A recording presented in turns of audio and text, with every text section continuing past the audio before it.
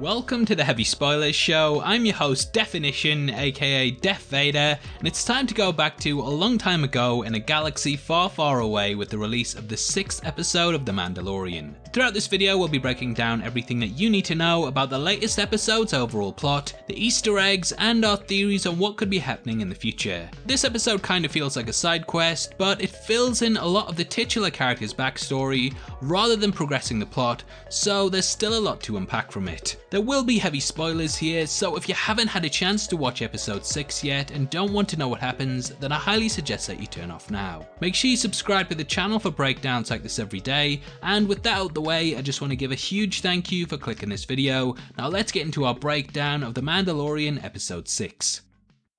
Okay, so episode 6, titled The Prisoner, it pretty much centers around Mando doing a jailbreak with a group of mercenaries and bounty hunters. This episode has an awesome cast in it that's made up of actors like Bill Burr, Clancy Brown, Richard Ayoade, Mark Boone Jr., and Natalie Tena, who plays a Twi'lek known as Xi'an that has a history with Mando. It's heavily hinted that the two had a romantic relationship with one another, and that leaves the question did he take the helmet off or did he wrap it up? Never mind. Maybe he's a Gungan under there, I really don't know. There's some flirty back and forth banter between the two, and yeah, it's good to know that Mando at least doesn't spend all of his time with babies. We kind of get the feeling that family came in the way between them on a big job, and this pays off with one of the big reveals in the episode. Now, if you've been keeping up to date with the breakdowns on the channel so far, then you'll know that we've theorized that Mando will build a network in order to take down the Empire members that are after him, and I'll give my theories on how this expands on that at the end of the video. We learn from the others in the episode that Mando has a dark past and may have even been involved in the mass murder of people, though this isn't said for definite and at the moment it's all just speculation. The group itself is led by Ran, played by Boone Jr., and it includes Mayfield, Burg who is a Devaronian, Zero a droid, and the previously mentioned Xi'an. I just thought I'd mention them as I'll be referring to them throughout the video, so yeah it is important to know their names. Similar to last week, Baby Yoda takes a backseat once more, which is a shame as I feel like the baby is really the main thrust of the season and wrapping up its storyline is pretty much everything that we're here for. Anyway, the episode opens with Mando going on a galactic cruiser in search of work as we know from the last episode that the guy is extremely short of money, money buys fuel, levers for Baby Yoda and so on, so yeah, he needs it. Since being exiled from the guild, he's had to reach out to more nefarious contacts and this opening is as atmospheric as always, making the introduction feel enthralling. Ran apparently wants Mando for the job because he wants to use the Razor's crest, as with it being an ex-military craft from the days before the Empire, it's not wired up with the same surveillance that most cruisers have since the fall of the Republic. So yeah, it's a hunk of junk that looks like a Canto Bight slot machine, shout out to The Last Jedi, but it's perfect for the job. There is some ulterior motives behind the jailbreak as revealed later, and I'll discuss these as they happen in the recap. Quickly though, we learn this isn't your regular prison break, and we learn that the person that they want to bust out is actually located on a maximum security New Republic prisoner craft.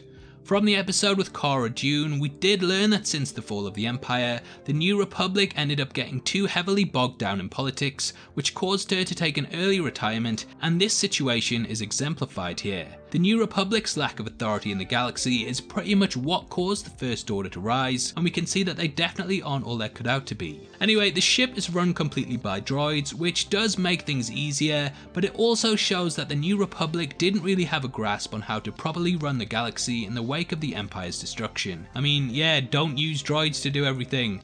We all saw what happened to the Trade Federation. This episode shows that droids, though built to be faster, more intelligent, and better all round, are actually not all they're cracked up to be, and yeah, the New Republic's reliance on them was probably their downfall. We also get lip service paid to the fact that the Mandalorians are all but extinct, and whilst I don't think this is completely true, I do think that the numbers are very low. It does look like after the events of episode 3 that the group were at least highly scattered after their battle on Navarro, and news of their death has travelled far. We also learn that Mayfield was an Imperial sharpshooter, which Mando quips at and says that's not saying too much. Mayfield replies, I wasn't a stormtrooper wise ass, and this is kind of an in joke in the Star Wars community about how stormtroopers are all terrible shots, and yeah, it's nice to see the show giving a little nod to fans with this line. He has two guns that look extremely like Jango Fett's dual blasters, And whilst all the Easter eggs are nice, it kinda sucks to have Baby Yoda not really in the plot that much. However, Baby Yoda's not out for too long, and he comes up quickly on the ship when, during a fight between Burg and Mando, they accidentally open a locker with the character in. None of the crew really know what species it is, which, yeah, we still don't know either, as George Lucas has never really divulged their name, and it cements just how rare the creature is, not only for the characters in the show, but also the audience as well. Is he a baby? Is he this year's must have Christmas toy? You're damn right. Like everyone else though, they clearly gain a love for the little guy and even pick him up, though you probably want to put him back because yeah, Baby Yoda has been dropped on its head way too many times lately, and this again happens in the episode. They arrive at the New Republic vessel, which has a doorway that is very similar to the one we see on the Falcon and Empire, and this cements that this is how airlocks function in the Star Wars universe. On the ship, which is very similar internally to the blockade runner from A New Hope, mainly due to its all-white interior, we do see that several prisoners are there, including an Ardennian. You might remember the Ardennian from the Solo Solo movie that was voiced by Jon Favreau, and yeah, it's nice to just see one of the other species members pop up here. The group go through the corridors running into a mouse droid and come face to face with droid soldiers who are pretty useless when it comes to Mando. I love this action scene and yet seeing him take down the machines is an amazing moment that really hammers home just how skilled he is. Eventually they make their way to the control room where they run into a new Republic officer and this is a nice little easter egg as the character is played by Matt Lanter who actually voiced Anakin in the Clone Wars TV show. Mando doesn't want to kill him but after he threatens to sound the alarm on a tracking beacon they're left with very little choice. Xi'an takes him out but he still sends out the SOS device and this sets a time limit of 20 minutes for the job. The group run through the corridors, taking down droids and fighting their way to the prisoner, who it's revealed is Quinn, Xi'an's brother, who we learn is in jail because of Mando. This is the real reason that he was selected for the job, as they wanted to use his skill set to set free Xi'an's brother, steal his ship and then trap him in the jail. Nice plan and all, but yeah, you guys clearly weren't counting on how resourceful Mando is, and he escapes the cell, heads to the control room, and puts the whole craft in lockdown. It's an awesome moment in which the hunters become the hunted,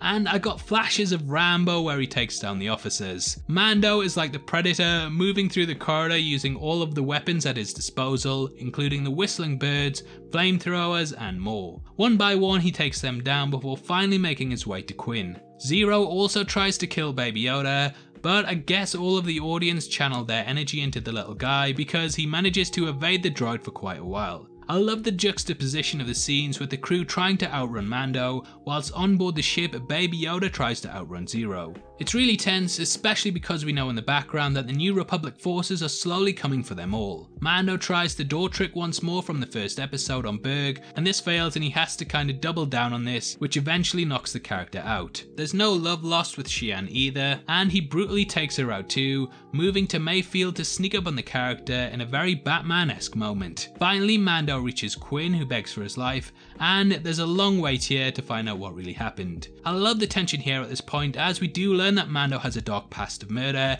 and he's kind of been pushed to the edge here.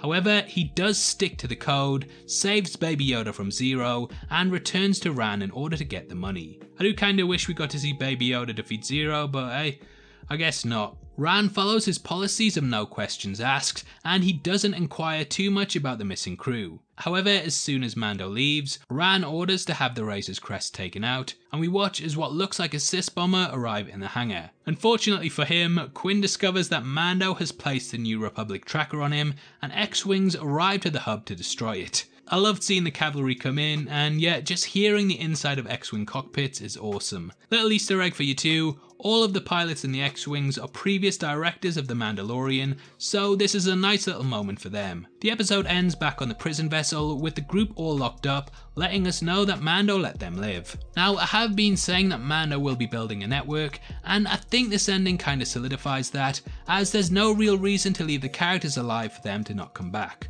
Though we still don't know who the mysterious character at the end of last week's episode was, I do think that it was Moff Gideon and not Boba Fett, and as we know the Moff is going to be in this season, so with just two episodes left, I can see him being brought into it. I know the Boba Fett sound effects are the same and so on, but yeah, Star Wars always reuses sound effects. I mean, just look at the Wilhelm scream, and I'm doubling down on my theory that it's Moff Gideon. He has to show up at some point, and I really hope that next week he does, as we have to get back to the main story, as there's there's only so long you can do side quests for.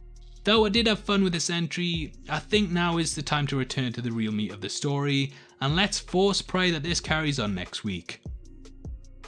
Now, obviously, I'd love to hear your thoughts on The Mandalorian Episode 6, as well as what your theories for the future are. Make sure you leave them in the comments below, and if you enjoyed this video, then please give it a thumbs up, and make sure you check out our full breakdown of the series so far, which will be linked at the end. We go over every episode, breaking it down bit by bit, so it's definitely worth checking out if you want to know more. Also, if you're interested in the rise of Skywalker, we just dropped a full movie breakdown of the film, so if you want to know the plot ahead of time, then make sure you head over to that. If you want to come chat to me after the video, then make sure you follow me on Twitter at DeffinitionYT, or head over to my Discord server, which will be linked in the description below. We drop videos on there early, so if you want to see stuff before anyone else, then that's the best place to be. It's free to join and we have an awesome community, so hopefully I'll see you over there very soon. We're also giving away a free copy of the Marvel Phase 3 Part 2 box set on Blu-ray which contains Black Panther, Infinity War, Endgame, Captain Marvel and more, and all you have to do to be in with a chance of winning is like the video, make sure you subscribe to the channel and leave your thoughts on The Mandalorian in the comment section below. The winner is going to be chosen at random on the 15th of December and the set will be shipped out from then to whoever gets the prize, so best of luck to everyone who takes part. This is a channel for people who are never missing television, so if that's the kind of thing you like, you need to subscribe to Deffinition. Thanks again for taking the time to watch this, you've been the best and I'll see you next time. Take care, peace.